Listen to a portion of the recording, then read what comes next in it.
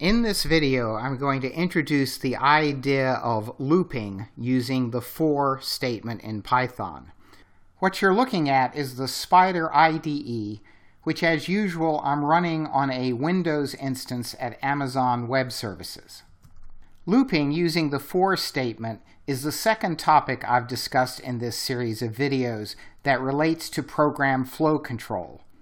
Program flow control refers to controlling the sequence that statements are executed in the program. Being able to execute a block of code over and over again and do things like iterate through all of the items in a list is one of the most powerful things that you can do in programming. And the for statement is one of the most important ways of creating a loop in Python. Incidentally, the other topic that we've discussed previously that relates to program flow control was the definition of functions, which we talked about in the second video. If you look over here to the left in the editor window, I have the basic syntax for a loop in Python.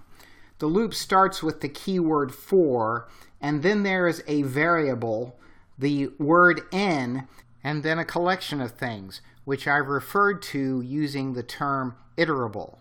Now, an iterable is a data object that you can step through, like, for example, a list. And the term iterable is a Python term with a specific meaning. But I don't want you to worry too much about that term right now. Just think about the term iterable as referring to a collection of things that the for statement can step through. The for statement then ends with a colon, which indicates together with indentation that a block of code is going to occur. So then we have a whole bunch of statements that are indented, and we signal to Python the end of the block of code that's controlled by the for statement by changing indentation and having a blank line. Now, what happens in the for statement is that the variable here is set one by one through the collection of things in this collection referred to here by iterable. So this variable will change each time you go through the code loop to the next item in this collection. That means that the code block here will execute each time with a different value in variable that comes from this collection here in iterable. Now the syntax of the for loop in Python really does focus on having a collection of things and then stepping through that collection of things with variable. And that's a little bit different than some other languages. A rather typical do loop in other languages has the following kind of syntax. Instead of really thinking about a variable stepping through a collection of things, it really thinks about a numerical index. So in this particular code fragment I have here, which is not Python code, the for loop is set up by initializing an index. And the third piece here tells that index how it will be updated at every step. And in the middle here, there's a condition indicating when the for loop should stop. So that's a little bit of a different approach than is taken in Python because it's really focusing on this index i rather than this set. In the for loop in Python, for example, the way you update the variable is to take the next item from the set, and you know how to end when you run out of items in the set. So having given you a little bit of an introduction to the syntax of the for loop, the first thing I'm going to do is create some data, and then we're going to look at an example. So to have some data lists to loop over in our examples, I found an article on the 200 highest paid CEOs in 2014. And the first list I have created is the name of those 200 CEOs. So I have put this list definition in a cell. Recall that a cell is defined by pound percent percent. And I can execute the definition of this list just by selecting anywhere in the cell and then typing Control Enter. And you'll see that the definition of the list has executed now over here in the console window on the right. So let's just quickly check that we got all of the data by asking for the length of the CEO's list. And you'll see that the length of the CEO's list is 200 as it should be. Now I also have a list of just the CEO's first names. And I'm going to go ahead and create that list as well. This list is also in a cell, so I can select anywhere in the cell and do Control Enter to execute it. So now I have another list of the CEO first names. So let's just go ahead and quickly check its length. And that is also 200. And then finally, I have a list of the CEO last names. So again, I'll just go ahead and quickly execute this cell of code in order to define that list. And one more time, I'll check that it has the correct length.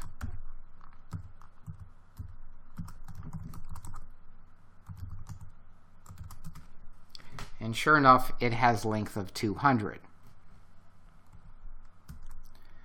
So I now have three lists defined. One list is a list of all of the CEO names. The second list is a list of just their first names. And the last list is a list of their last names. And each one of those lists has a length of 200. Now, given what we know about Python so far, we really do not have a very convenient way to select an arbitrary set of items out of a list. We learned earlier about ways to slice a list, but picking an arbitrary set of indices is a different thing than slicing.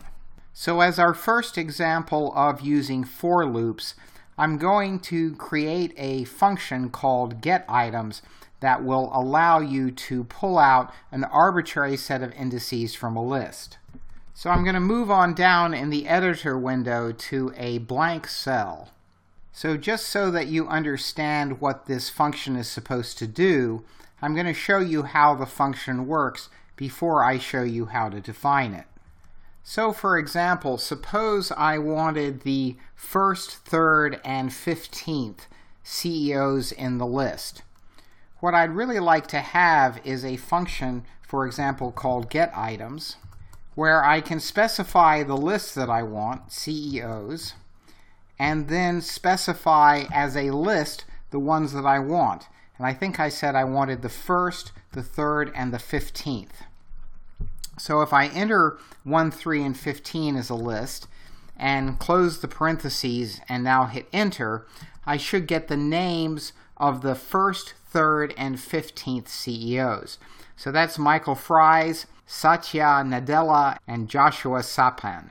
My apologies to these CEOs because I really don't know how to pronounce their names and have probably butchered them.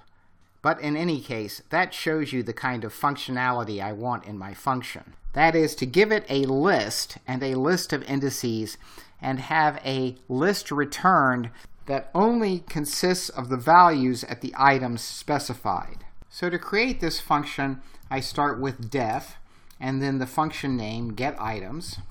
And then the first argument to this function should be an input list, and the second argument should be an index list. Now you recall that when I define functions, I end this first line with a colon, indicating that a block of code is about to follow. So what I'm going to do in this function is step through the items in the index list and then save the corresponding items from the input list into a list which I will return as the function's output. So the very first thing I'm going to do is define an empty list that will contain the output. So I'm going to say out is equal to open square bracket, close square bracket, and that will define an empty list. Now the next thing I'm going to do is step through the index list. So now I use the for statement, and I need to specify a variable that I'll use to step through the index list. So I'm just going to call that item. And then I go in, and now I specify my collection that I'm going to step through. So that's going to be the index list. And the for statement ends with a colon, which indicates that a new block of code is about to be entered. And so what I need to do is take my list out, which begins empty, and I need to append the item of input list that is at the index indicated by the current value from index list, and that's an item. So again, what these two statements do is as follows. Index list is a list of the items that I would like returned. Item will step through that index. I created an empty list out for my output, and every time I step through a value in index list, I append to this empty list out the value from the input list that occurs at item. So the last thing I need to do is return from my function the list out. And this function, as it's defined, should take any input list and return the indices specified in the index list. Now before I continue, I want to point out that I do absolutely no error checking in this function as I've written it at all. For example, I don't check that the indices in index list are really integers or that they're within the range of integers that index items in the input list. Writing bulletproof code for public consumption is hard. I am just writing this function right now just as an illustration of how the for statement works. So I'm uh, giving myself a great deal of slack with respect to checking the validity of inputs to the function. So let's go ahead and define this function in our current Python session in the console. So this function is defined in its own cell, and I can select anywhere in that cell and then do Control Enter to run the function.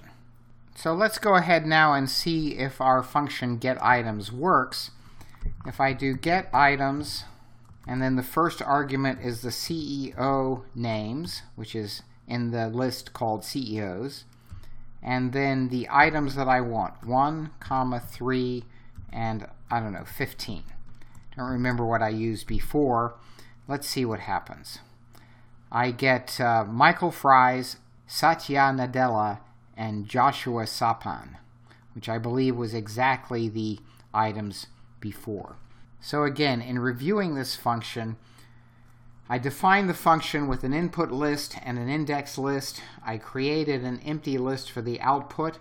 I stepped through all of the items in the index list and then appended to the output list the input item at that location. And then finally, I returned out. So this is my most basic example of using the for loop.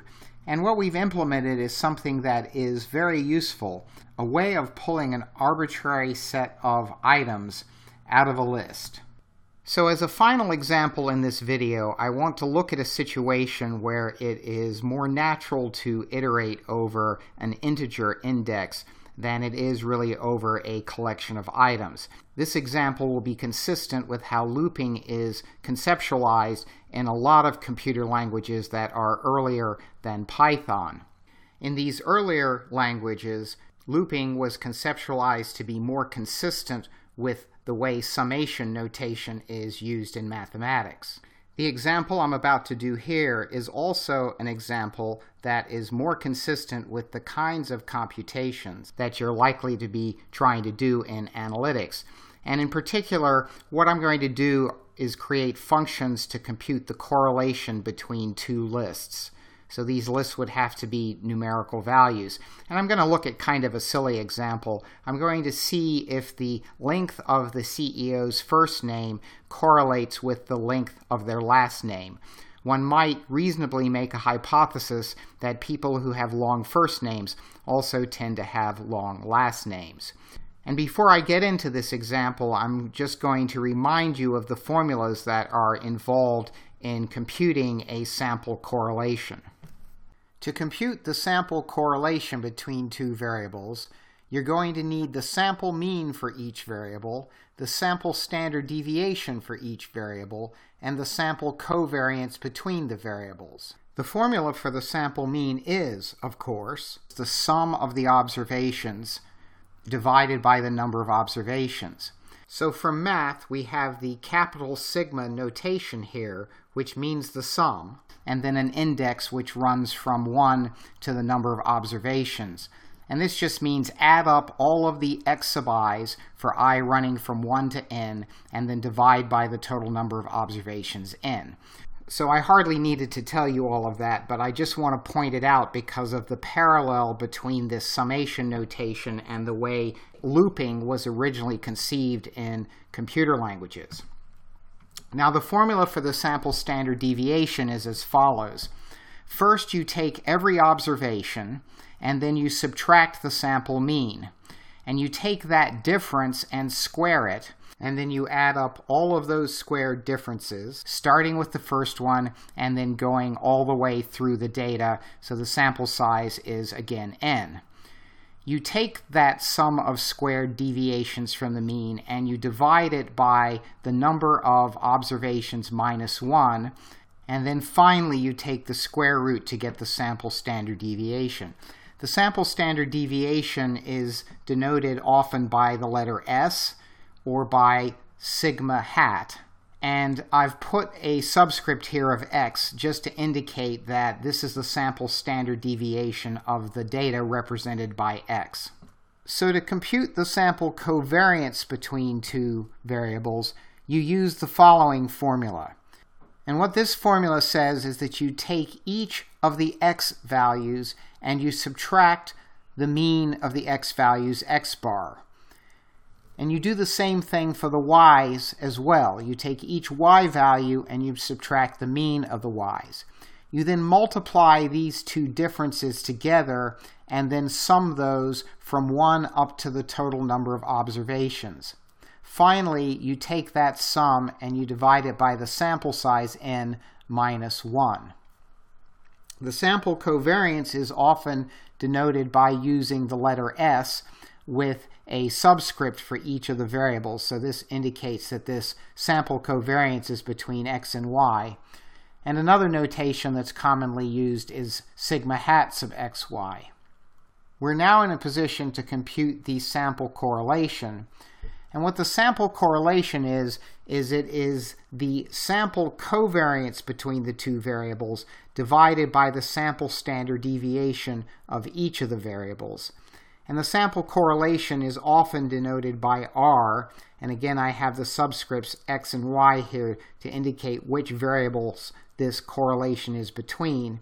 And sometimes the Greek letter rho is used, so rho hat sub xy is another notation used for the sample correlation. The sample correlation measures the linear association between the two variables and it's scaled so that it ranges between a negative 1 and a positive 1. A sample correlation of plus 1 or minus 1 indicates a perfect linear relationship, and a correlation of 0 indicates no relationship between the variables. So returning to Python, the first thing I'm going to do to compute the sample correlation is to begin by defining a function that computes the sample mean. So I'm going to call that function mean, and I have its definition in this cell. So mean is going to take a list of values, which I've called data, as its argument. And the first thing that happens is that I take the length of that list of data and store it in n. So that's the sample size.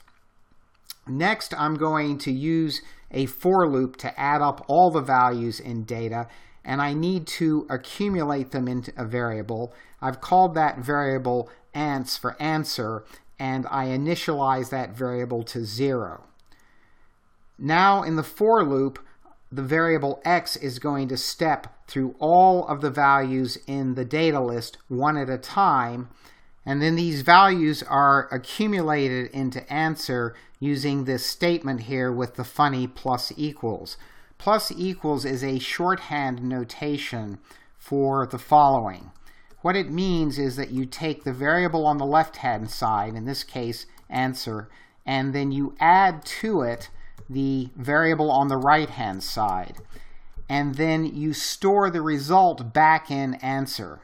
So the plus equal says that you take the variable x and you add it to answer and then store it back in the same place. So I'm now going to go ahead and delete this extra line of code I put in here as an explanation of the plus equal notation. Finally, once I've added up all of the values in data, I need to divide those by the sample size. And I do that in this line that uses this divide equals notation that works in exactly the same way as the plus equals notation. What it means is that I take the value in the variable on the left-hand side, I divide it by the variable on the right-hand side, which in this case is n, and then I store the result back into the variable indicated on the left-hand side. So what this statement does is it takes the sum in answer, divides it by n, and puts it back in answer. And then finally, I return the variable ans, which should contain the sample mean. Next, I define a similar function to compute the sample standard deviation, and I've called this function SD. And as with the sample mean, it takes as its argument a list containing the data values. The first thing I do with that list is to compute its sample average, which I've called x bar, and the next thing is to save the sample size into n, and the sample size, of course, is just the length of data. Now I have a for loop that's quite similar to what we just did for the sample mean. Again, I'm going to accumulate the answer in the variable ans, and I initialize that with the value of 0. In the for loop, the variable x is just going to step through all of the data values, but this time what I need to accumulate is each of the data values minus the sample average, all of that squared. And I'm once again going to use this plus equal notation, which says that I take the value in answer and then I add to it the value here on the right hand side, which is the square deviation of the observation from its mean, and I save that back into the variable answer. So once the for loop is complete, I will have accumulated the sum of squared deviations from the mean. Now in the sample standard deviation, I need to take that sum and divide it by n minus 1, which I do in the next statement. And then finally, I need to take its square root, which I've done in the last statement here. And then to complete the function, I need to return that answer. Now in the two functions that I've created so far, mean, and SD, I have not used an index, as in the summation notation in the formulas, to step through the data. Rather, I've been able to use the for loop to step through the data directly. But in the formula for the covariance, I need to step through both the x data and the y data at the same time. And probably the easiest way to do this is to have the for loop step through an index and use the index to pull the correct items out of the X list of data and the Y list of data. So that raises the question of how you step through indexes in for loops in Python. And the answer to that is that you use a function called range. And what the range function does is it creates a list of integers that an index can now step through in a for loop. And the way it works is as follows. If you do the range of an integer like 10, it returns a list of values 0 up to 1 minus the number that you put in here. So in this case, it would be 0 up to 9. So let's see what this gives us when we run it. So I'm going to run it with F9 and you'll see it gives us the list of integers 0 all the way up through 9. Now Python does this, as is probably obvious to you, because lists are indexed starting at 0 and going all the way up through 1 less than the length of the list. So for example, if we do the range of the length of the CEO names, let's go ahead and execute that with F9 what I'll get is a list of integers that starts at 0 and goes all the way down to 199 one less than the length of CEOs, which is 200. The final notation that I have here for the range actually has two arguments. And when you give the range two arguments, it starts with the first number and goes all the way up to one less than the number in the second position here. So in this particular case, the length of CEOs again is 200. So this range should start at 50 and go all the way up to 199. So let's check what it does. So we can see that it went all the way up to 199. Let's go up and see if it started with 50. And there it is. Now we're in a position to use the range function in looping over an index. And I'm going to use this idea of looping over an index in defining my final function core, which computes the correlation. The core function takes two arguments, x and y, and each of these arguments is going to be a list of the corresponding values. x is a list of the x values, and y is a list of the y values. So to compute the correlation, the first thing I need are the sample averages of both the x and the y values, and I compute those in these first two statements and store them into x bar for the sample mean of the x's and y bar for the sample mean of the y's. And I did this using the mean function which I defined earlier. The next thing I need to save is the sample standard deviation for the x's and for the y's. And I've done that in the next two statements using the SD function that I just defined. And I've stored that in a variable SDX and another variable sdy. Now I need a for loop in which I accumulate the sum of the product of the deviations of the x's and the y's from their mean. So I'm going to define a variable cov for covariance and I'm going to initialize it to 0 and I'm going to use it to accumulate the sum. Now I have my for statement, but in this case my variable here in the for statement I'm going to call i because it's representing an index in a manner very similar to the index in mathematical summation notation. But i needs to step through a collection here and the collection that I'm going to use is the range of the number of observations. I can get the number of observations from the length of x. So the length of x is n, and the range of the length of x is going to start at 0 and go all the way up to n minus 1. Now what am I accumulating? Well, firstly I'm going to use the plus equal notation, but the thing that I'm accumulating is the product of the differences of the x and y values and their means. To compute these products, I'm going to need, for each index value i, the ith value from the x list. So I'm now subscripting x. So it's capital X, open square bracket, i, close square bracket. I subtract from that the sample mean for the x's and then put that in parentheses. I multiply that by the same thing for the y's. So again, I'm using the index to pull the correct value out of the y list. And then I subtract the mean of the y's. I put that in parentheses and then I multiply together those two deviations from the mean and then that is added into the cov variable. So this example shows why the index approach is both useful and natural. And the reason is that we need to step through two lists at the same time. A natural approach for this is suggested by mathematical summation notation, and that is to step through an index instead and then retrieve the required values from the two lists by using the index to reference them. The next step in calculation of the correlation is to compute the covariance by taking the sum of the products of the deviations, which is now the value in the cov variable, and dividing it by n minus 1. So again, I've used the slash equal notation to do the division, and then I have the length minus 1, which is n minus 1 on the right-hand side.